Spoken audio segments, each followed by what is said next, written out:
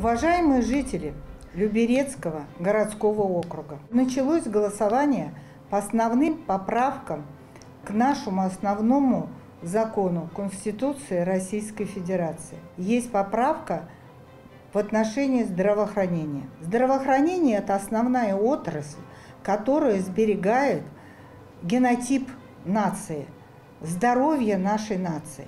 Поэтому те поправки, которые внесены в Конституцию, они должны привести к организации качественной и доступной медицинской помощи.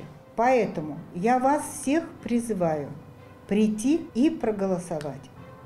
Я приду и призываю вас это сделать.